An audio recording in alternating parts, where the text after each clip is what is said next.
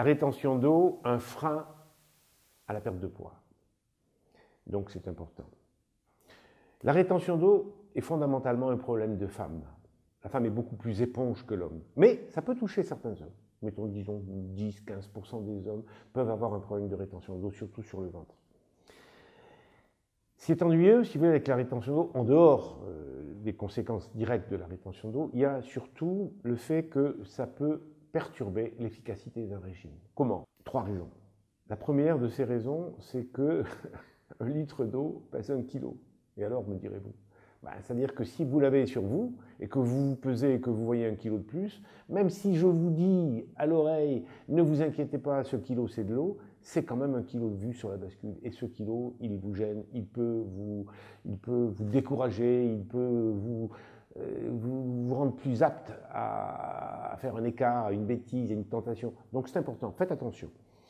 Euh, deuxièmement, ne jamais se peser donc après un écart. Si, euh, si, vous faites un écart, le lendemain matin, ne vous pesez pas. Parce que vous allez peser non seulement quelques dizaines, vingtaines, trentaines, cinquantaines de grammes de, de, véritable graisse, mais vous allez garder un litre d'eau, surtout si vous avez mangé un peu salé, et là c'est une catastrophe. Ne vous pesez pas. Attendez le surlendemain. En revanche, le lendemain, mettez-vous-y euh, depuis le matin. Deuxièmement, savoir que, avant les règles, une femme normale prend à peu près un kilo.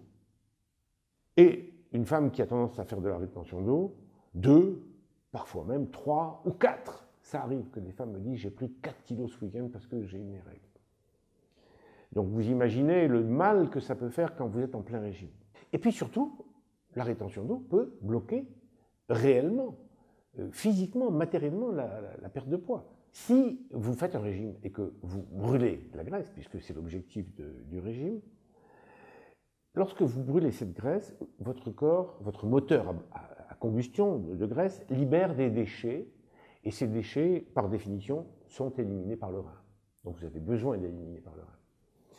Mais si vous faites de la rétention, votre rein fonctionne au ralenti, et donc élimine au ralenti. Et ça veut dire qu'il va y avoir un goulet d'étranglement dans lequel vont s'accumuler des déchets. Et lorsque ces déchets vont être suffisamment gênants, ils vont faire bouchon, et puis progressivement, ils vont remonter en amont jusqu'à boucher le moteur. Et matériellement, vous aurez du mal à maigrir, quels que soient vos efforts. Vous voulez un exemple? Eh bien, écoutez, faites démarrer votre moteur de voiture, et puis mettez un bouchon dans votre pot d'échappement. Et vous allez voir ce qui va se passer. Au bout d'un moment, le moteur va s'arrêter.